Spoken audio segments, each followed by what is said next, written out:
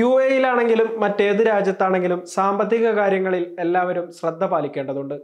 ഒരു സുഹൃത്ത് കാരണം പണി കിട്ടിയ പ്രവാസിയെക്കുറിച്ചാണ് ഈ വീഡിയോയിലൂടെ സംസാരിക്കുന്നത്.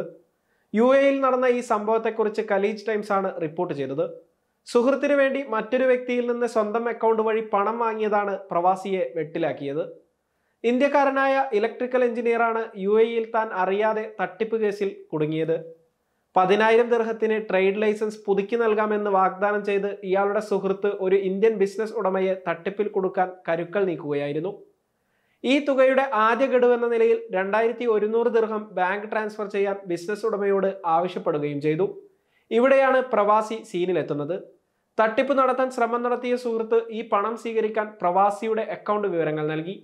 മറ്റൊരാൾ തനിക്ക് പണം നൽകാനുണ്ടെന്നും ഈ പണം അക്കൗണ്ടിൽ സ്വീകരിക്കാമോ എന്നും ചോദിച്ചാണ് സുഹൃത്ത് തന്ത്രപൂർവം പ്രവാസിയെ സമീപിച്ചത്. ഇയാൾ അക്കൗണ്ട് വിവരങ്ങൾ നൽകുകയും ചെയ്തു. അക്കൗണ്ടിൽ വന്ന പണം സംശയമൊന്നും കൂടാതെ പ്രവാസി അയാളുടെ സുഹൃത്തിന് കൈമാറി. പണം കയ്യിലായതോടെ പിന്നീട് സുഹൃത്ത് തന്റെ തനിനിറം പുറത്തെടുത്തു. ഇയാൾ ഫോൺ കോളുകൾ എടുക്കാതായതോടെ പണം നൽകിയ ബിസിനസ്സുകാരൻ പോലീസിൽ പരാതി നൽകി. സംഭവത്തിൽ കുടുങ്ങിയതാകട്ടെ ഇലക്ട്രിക്കൽ എഞ്ചിനീയറായി ജോലി ചെയ്തിരുന്ന പ്രവാസിയും ഇയാളെ ചോദ്യം ചെയ്ത പോലീസ് കേസ് പബ്ലിക് പ്രോസിക്യൂഷന് കൈമാറി. പ്രവാസിയും അയാളുടെ സുഹൃത്തും ചേർന്ന് തട്ടിപ്പ് നടത്തിയെന്നാരോപിച്ച് പ്രോസിക്യൂട്ടർമാർ കേസ് ദുബായ് പ്രാഥമിക കോടതിയിലേക്ക് റഫർ ചെയ്യുകയും ചെയ്തു. സുഹൃത്തിന്റെ ചതിയിലൂടെ തട്ടിപ്പ് കേസിൽ പ്രതിയായ ഇരുപത്തിയെട്ടുകാരന് വേണ്ടി കേസ് വാദിക്കാൻ അഡ്വക്കേറ്റ് ഹനി ഹമൂദ ഹഗാഗാണ് രംഗത്ത് വന്നത്. ഇയാൾക്ക് ക്രിമിനൽ പശ്ചാത്തലമില്ലെന്നും തട്ടിപ്പ് നടത്തിയത് ഇയാളുടെ സുഹൃത്താണെന്നും അഡ്വക്കേറ്റ് ഹനി വാദിച്ചു. തട്ടിപ്പിനിരയായ വ്യക്തിയും പ്രവാസിയും തമ്മിൽ സംസാരിച്ച് കേസ് പരിഹരിച്ചുവെന്നും ഇത് പരാതിക്കാരൻ രേഖാമൂലം കോടതിയെ അറിയിച്ചിട്ടുണ്ടെന്നും ഹനി ഹമൂദ് വ്യക്തമാക്കി.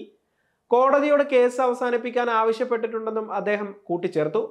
നിയമവിരുദ്ധമായാണ് പണം സ്വീകരിക്കുന്നതെന്ന് തനിക്ക് അറിയില്ലായിരുന്നു എന്നാണ് തട്ടിപ്പ് കേസിൽ കുടുങ്ങിയ പ്രവാസി കോടതിയെ അറിയിച്ചത്. എന്നാൽ ഇയാളെ കൂടി പ്രതിയാക്കിയ കോടതി ഇവർ തട്ടിപ്പ് നടത്തിയെന്നും നിയമവിരുദ്ധമായി പണം കൈവശം വെച്ചുവെന്നും ആരോപിച്ചു. അതേസമയം പരാതിക്കാരൻ രേഖാമൂലം നൽകിയ കത്ത് പരിഗണിച്ച് ഇവർ രണ്ടുപേരും ചേർന്ന് രണ്ടായിരത്തി ഒരുന്നൂറ് ദിർഹം തിരിച്ചു നൽകണമെന്നും നിബന്ധനകൾ പാലിച്ചില്ലെങ്കിൽ ഒരു മാസം ജയിൽ ശിക്ഷ അനുഭവിക്കണമെന്നും കോടതി വിധിച്ചു. എന്നാൽ കടുത്ത ശിക്ഷ നൽകണമെന്നും പ്രതികളെ നാട് കടത്തണമെന്നും ആവശ്യപ്പെട്ട് ദുബായ് പ്രോസിക്യൂട്ടർമാർ അപ്പലറ്റ് കോടതിയിൽ അപ്പീൽ നൽകിയിരിക്കുകയാണ്. അപ്പീൽ കോടതിയിലെ വാദം കേൾക്കൽ ഉടൻ നടക്കുമെന്നാണ് കരുതപ്പെടുന്നത്.